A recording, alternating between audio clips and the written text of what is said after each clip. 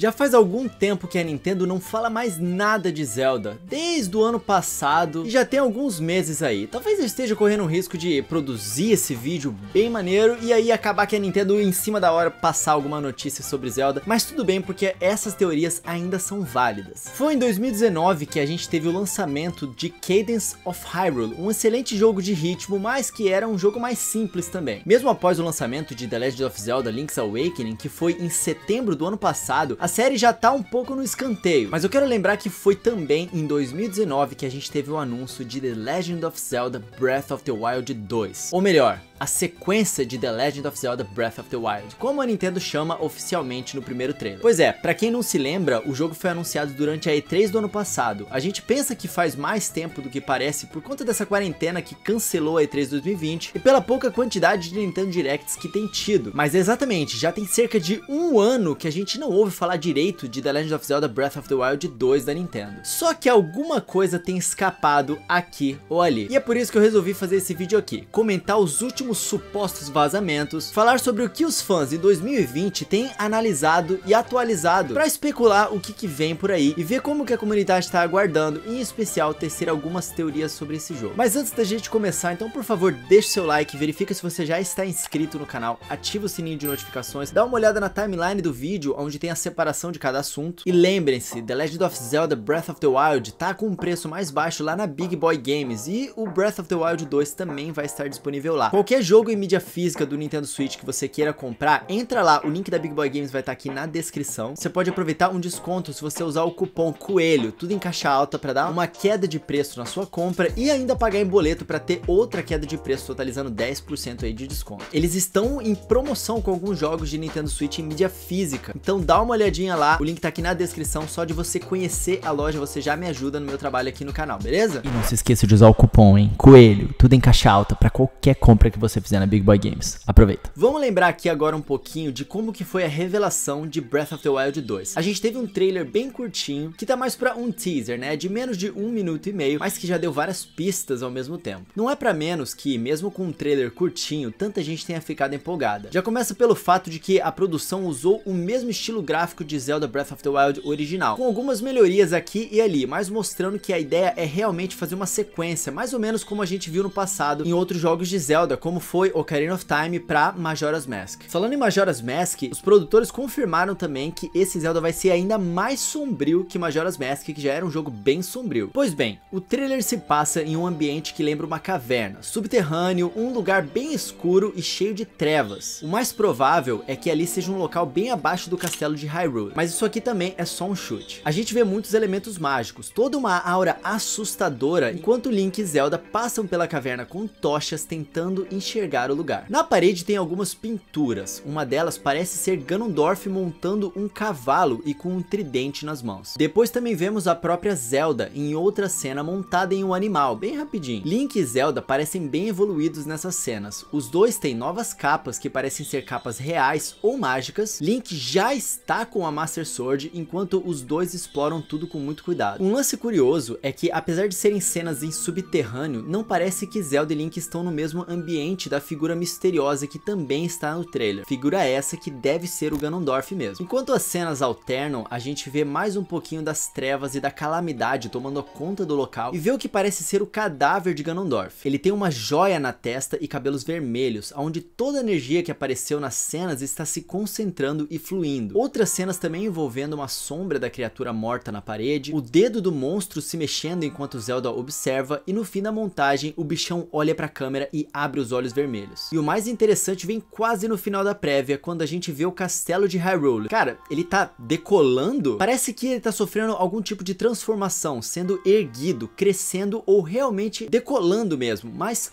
pra onde? Por quê? É claro que tudo isso é uma prévia e um teaser inicial e muita coisa pode mudar até o lançamento. Coisas que a gente nem tem ideia de quando será. Lembra dos primeiros teasers de Twilight Princess? Ou até mesmo do próprio Zelda Breath of the Wild? Acabou que foi tudo meio diferente no fim das contas. Então mantenha em mente que o mesmo pode acontecer aqui. Ainda que esse novo jogo seja uma sequência direta, se a Nintendo resolver fazer tudo se passar no mesmo cenário ou em boa parte dele, ele já tem um monte de coisa pronta pro jogo. Mas é claro que a gente conhece a equipe por trás de todo Zelda e sabe que eles costumam costumam ir bem além do básico e sempre tentam surpreender. O próprio Aonuma confirmou que esse Zelda vai surpreender os fãs. Palavras dele, hein? Então, o que que tem de confirmado até agora? Esse teaser inicial e os comentários do Aonuma são as únicas coisas confirmadas do novo Zelda Breath of the Wild. A gente imagina, por exemplo, que ele será lançado para o Nintendo Switch, já que o trailer tem a logo do videogame logo no início, mas quem sabe quanto tempo vai levar para sair. Só que na E3 de 2019, depois da revelação do jogo, pelo menos a gente teve algumas pequenas pistas dadas pelo próprio Eiji Aonuma, que é o grande cérebro por trás da saga Zelda da Nintendo. Durante apresentações e entrevistas, Aonuma disse que era importante frisar que aquela era uma sequência de Zelda Breath of the Wild, porque ele gostou muito dessa versão de Hyrule e ele queria voltar para ela, mas inserindo novas mecânicas de jogabilidade. Essa sequência nasceu de várias ideias que foram dadas para conteúdos vendidos por download, então tudo leva a crer que de fato é uma sequência praticamente direta logo após os fatos contidos em Breath of the Wild. Afinal de contas, várias dessas ideias surgiram como ideias de DLC para o jogo base. E se Zelda Breath of the Wild pegou muita inspiração de jogos ocidentais modernos como Skyrim, saiba que a também disse que boa parte dos desenvolvedores do seu time jogaram muito Red Dead Redemption 2. Então eu imagino aqui que muito do que veremos na sequência pode beber dessa fonte em termos de gameplay e novidades também. Na E3 de 2019, a também disse que essa continuação vai ser um pouco mais sombria, exatamente como foi Majora's Mask. E isso eu acho que deixou bem claro nesse teaser trailer, que mostra logo o cadáver de um aparente inimigo do passado. Mas na real, o próprio Aonuma foi bem indiferente sobre confirmar qualquer novidade sobre a jogabilidade especificamente em todas as ocasiões que ele falou do jogo. Quando perguntaram se teríamos a personagem Zelda jogável nesse jogo, por exemplo, ele só diz, conversou, ainda que tenha falado que um modo cooperativo seria uma ideia muito interessante nesse novo capítulo. Mas mesmo que a Onuma não tenha falado tanto, alguns rumores recentes foram divulgados pela internet e é neles que eu vou me concentrar agora. O que dizem os rumores? Nos últimos meses, e em especial em março, começaram a vazar supostos detalhes do jogo e da jogabilidade. Mas eu reforço, são supostos, pois nada do que eu vou falar a partir daqui está confirmado. Em março, a gente teve algumas informações divulgadas pelo site Nintendo News Network, que chamaram a atenção quando foram publicadas, já que o seu autor, Tyler McVicker, é dono da Valve News Networks, um canal e site conhecidos por divulgarem informações vazadas e confirmadas sobre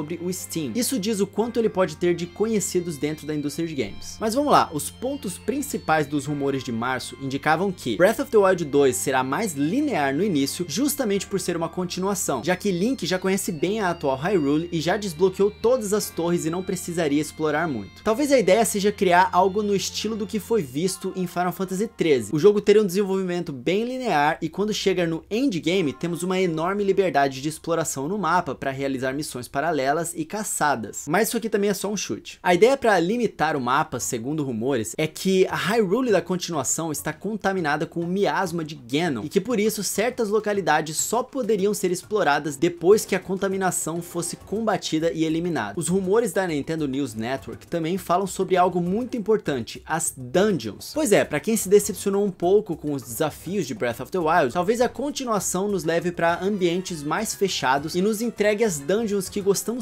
tanto em Zelda. Quando publicou o rumor, Tyler McVicker declarou que ainda os desenvolvedores do jogo estão incrivelmente inspirados por Red Dead Redemption 2, que é justamente o jogo que o Aonuma citou publicamente que os seus programadores estavam jogando. Então é bem possível mesmo que Breath of the Wild 2 beba dessa fonte, mantenha isso em mente. Para quem não jogou Red Dead Redemption 2, saiba que ele é um dos jogos mais completos da geração do PlayStation 4 e Xbox One. É um jogo de faroeste e de mundo aberto muito popular e elogiado pela qualidade. É um jogo tão detalhado e realista que você tem que se preocupar até com a saúde do seu cavalo, saber se ele não tá correndo demais, verificar as fezes do bicho quando precisar para saber se ele não tá correndo muito, um monte de detalhezinho. Pois é, não sei se esse tipo de autorrealismo combinaria muito com Zelda, mas seria no mínimo interessante ver um salto de qualidade para algo mais detalhado ainda do que já era o mundo de Breath of the Wild. Já outra fonte, o youtuber Jesse McCarthy, do canal Game Over Jesse, também em março divulgou algumas possíveis informações sobre o jogo, mas que contradizem alguns pontos divulgados pelo Tyler e até algumas declarações do Aonuma. Um dos pontos comentados por McCarthy é que o novo game teria barcos e gameplay voltados para a navegação no melhor estilo Wind Waker. Com a introdução de barco, veríamos outras partes do mapa de Hyrule que não conhecemos ainda, como novas ilhas e territórios. Mas aí a gente tem a contradição do que o Aonuma disse, que o jogo seria uma nova vista ao mundo de Hyrule de Breath of the Wild. Ele também disse que teríamos os primeiros detalhes oficiais sobre o jogo mais cedo do que imaginavam. Só que isso foi no início da pandemia e sabemos como as coisas ficaram meio lentas depois disso. A produção da Nintendo foi afetada pela pandemia da Covid-19 no mundo, até mesmo as DLCs de Super Smash Bros Ultimate sofreram um pequeno atraso, então é possível que, se for verdade, os planos de revelar mais sobre o game em breve possam ter mudado, ou então possam já ter aparecido antes desse vídeo aqui ser lançado, mas se liga aí. Mas e o que, que eu acho sobre todos esses rumores? Bom, eles são justamente isso, rumores. Mesmo que a pessoa tenha o histórico de acertar e que tenha conhecimentos internos na indústria, só é possível cravar como verdade quando são divulgados oficialmente pela Nintendo ou quando ganha muita força, para dizer no mínimo, publicado em vários sites ao mesmo tempo. Mas além dos rumores, a gente tem algumas teorias desenvolvidas pelos fãs, baseadas no que a gente pôde observar do jogo até agora e que poderiam ou não entregar detalhes sobre a trama. Então vamos às teorias. Uma teoria publicada pelo fã Jay Spike no Reddit diz que o novo Breath of the Wild daria importância a um item comum do jogo original, as Luminous Stones. Segundo ele, tanto Link quanto Zelda passam por várias Luminous Stones enquanto exploram o subsolo do castelo de Hyrule e encontram o que seria o corpo mumificado de Ganondorf. Em tese, o corpo de Ganondorf está com um dos braços brilhando, o que seriam as Luminous Stones tentando conter o seu poder, ainda que mumificado. Breath of the Wild original descreve as Luminous Stones como misteriosos minerais que geram um brilho azul pálido no escuro, o que muitos acreditam ser almas de mortos. Isso tá na descrição oficial. Além disso, o personagem Cass, que é o simpático bardo pássaro que encontramos no jogo, canta uma música sobre um braço luminoso que poderia ser uma manifestação diferente das Luminous Stones. Pois é, tudo tem dicas aí. A canção de Cass diz justamente que Ganon se fortaleceu no subsolo, enquanto o povo ancião de Hyrule tentou ajudar a combatê-lo, falando ainda que isso selou a calamidade em sua fonte. Assim, o objeto brilhoso poderia ser um local onde as almas dos Hyruleans anciãos estariam selados com as suas almas protegidas, guardando o corpo de Ganondorf. Vale lembrar que no trailer a gente vê um mesmo feixe luminoso sair do corpo de Ganondorf e envolver o braço de Link, o que seria algo como uma proteção contra a ameaça do corpo mumificado do vilão, o que também poderia ser um ponto importante da jogabilidade do novo game. Outra coisa interessante de lembrar também é que os japoneses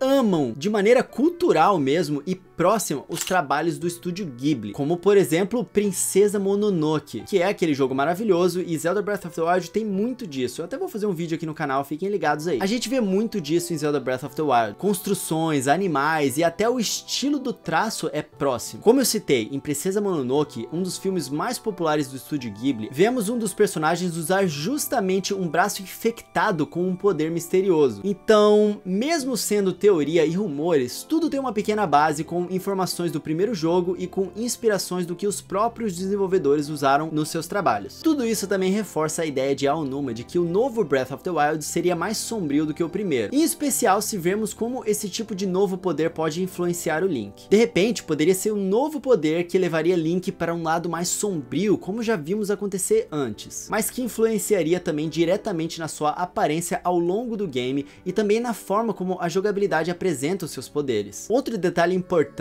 e que pode colaborar com as teorias é que o diretor e roteirista de Breath of the Wild 2 é Hidemaru Fujibayashi, que também foi o responsável pelo original. Fujibayashi trabalhou em Breath of the Wild, Skyward Sword, Phantom Hourglass, The Minish Cap, Four Swords e The Legend of Zelda Oracle of Ages e Oracle of Seasons, todos como diretor ou subdiretor e roteirista. Mas uma coisa muito interessante é que o Hidemaru Fujibayashi, antes de trabalhar na indústria de games, era designer de atrações de terror em parques japoneses. Sim, exatamente isso que você tá ouvindo, tipo aqueles trens de terror e casas mal assombradas, cara, no Japão. Até hoje a gente não viu muito dessa experiência do Fujibayashi com o terror ser traduzida em jogos, mas será que teremos aqui pela primeira vez com Zelda Breath of the Wild 2, levando em conta todas as informações já confirmadas e mais alguns rumores que temos? Pois é, amigos, o jeito é esperar. A gente sabe que a pandemia da Covid-19 não deu trégua e afetou o mundo inteiro. Por isso a gente provavelmente não vai ter um compilado de muitos anúncios tão cedo, como um Nintendo Direct muito grande. Espero estar errado, né? Mas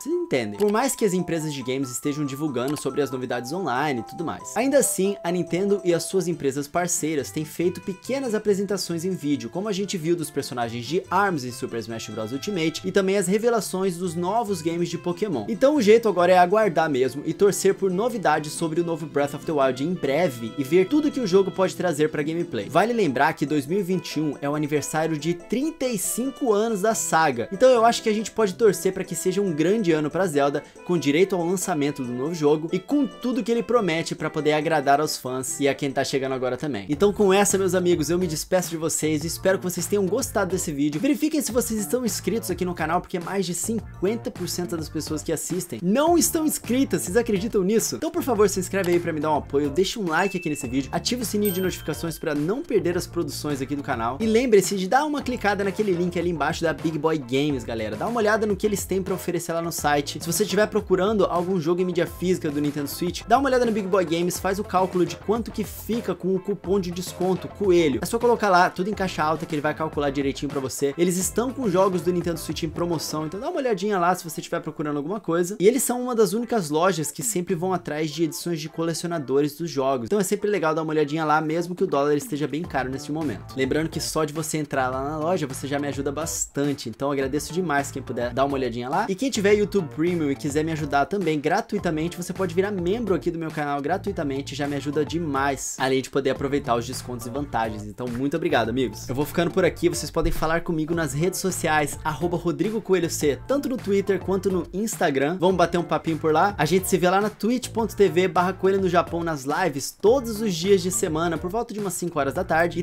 também no vídeo de amanhã aqui no canal, tá bom? Então eu vou ficando por aqui. Um tapa na pata do coelho pra dar sorte, e lembrem-se de mandar uma mensagem legal pra alguém se sentir feliz hoje. E assim a gente vai melhorando o mundo. Valeu!